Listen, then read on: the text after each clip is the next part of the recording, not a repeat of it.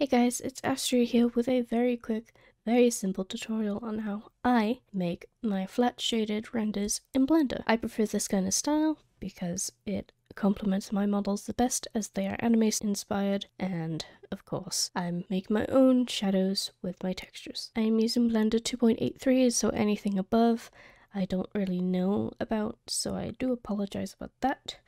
So we are going to be working with nodes. I don't know everything about nodes I only know this kind of node setup. I don't really mess around nodes that often. I just model and that's pretty much it. Let's go over to the shading tab. You can see here that my character is actually kind of reddish. That is because in my world tab here, the background color is this kind of raspberry color. Uh, that's because I use different colored backgrounds for when I do turntables, but you can see here that the background is a PNG, so it's transparent. That is so that I can make still renders and I can have a custom background that I always use, so that's just easier for me. Yours won't have a color unless you do set a color in here.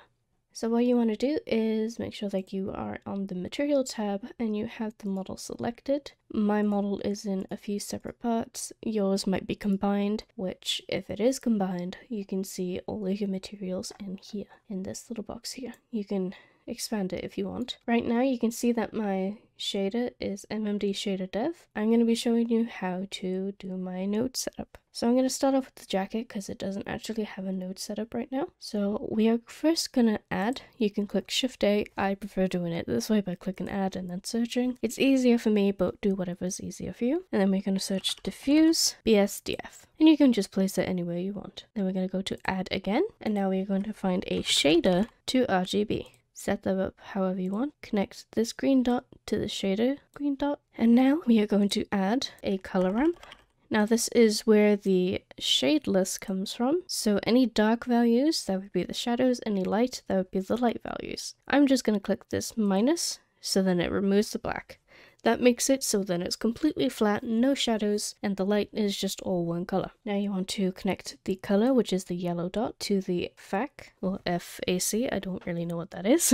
connect those two dots together. Now we are going to add a image texture, again, put it wherever you want. And if you are like me, you can try to organize things because nodes can get messy. And that is another reason why I don't like to mess with nodes very much. So I'm going to keep my image texture above here. I'm going to click this little image icon here with the little down arrow. You can click new or open if you want, but because all my textures are already imported to my scene, I'm going to make sure that I click jacket. Next, we are going to add a mix RGB, and then we're going to connect the image texture color dot to color 1, and then the color ramp to color 2. Finally, we are going to do material output and then you just click on the mix RGB color dot and put that into the surface. And as you can see here, it's turned white. What you want to do is in the mix RGB, you click the drop box and then you change it to multiply. And you can see here now in this preview that it is flat shaded. And now just do this for everything else. So the easiest way to copy and paste your node is over here in the material tab, go to this little down arrow, copy material, and then paste it onto the other material. Obviously that will add the texture that you have in the image texture box, but you can easily just switch it out for the correct texture. Now repeat this And if you have any materials that are the same, you can just repeat the other step by copying and pasting.